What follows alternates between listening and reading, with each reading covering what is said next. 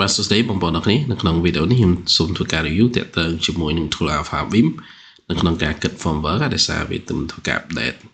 អញ្ចឹងនៅក្នុងនេះមាន generic model ដែល generic model ហ្នឹងខ្ញុំកើត family សម្រាប់ធ្វើការ detail អឺ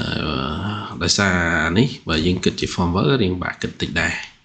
រៀងបែបចេះអញ្ចឹងហើយខ្ញុំនឹងប្រើប្រាស់ tool ដើម្បី review ឲ្យបងប្អូនមើលអញ្ចឹងបើយើង select element ហ្នឹង mình ចុចទៅលើ framework យើងគិត framework calculate ទៅវាស្គាល់ generic model តែម្ដងតមកយើងចង់ដឹងវាត្រូវឬមិនត្រូវខ្ញុំនឹងធ្វើ test តម្លៃវាដាក់នៅក្នុងនេះគឺបាទ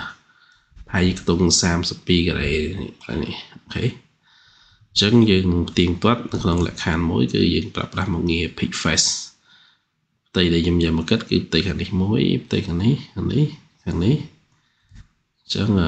មកខ្ញុំពិចារណាខ្លះខ្ញុំសូមពិសាថ្មីចឹងផ្ទៃដែលយើងយកមកគិតខ្ញុំសូមប្រើប្រាស់មកងារ pick face area ចឹងផ្ទៃខាងក្រោមអូខេបាទនេះមួយទៀតបាទនេះអានេះមួយទៀត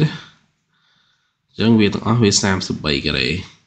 ហើយបានយើងគិតឃើញ32ការ៉េដោយសារ អានេះវាបានដកសសខ្ញុំក៏ចង់ទីផ្ទាត់ដែរអញ្ចឹងលក្ខខណ្ឌរបស់វាវាដកសសដូចជាធ្នឹមអានេះគឺធ្នឹម precase ដែលខ្ញុំចាក់ស្រាច់ហើយធ្នឹមនេះគឺបើយើងគិត forward យើងគិតពេញខាងក្រោម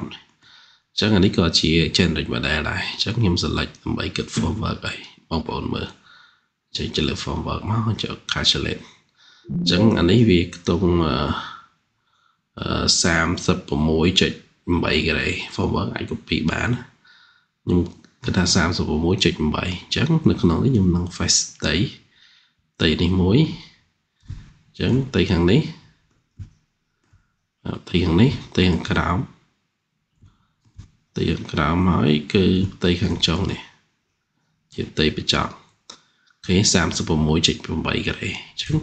កម្មវិធីហ្នឹងវាអាចគិត work បានត្រឹមត្រូវអរ គុណបងប្អូនទាំងគ្នាបើសិនជានឹងចាប់អារម្មណ៍ក្នុងការទិញ license ប្រើអាចទាក់ទងមកកាន់ខ្ញុំបានបាទ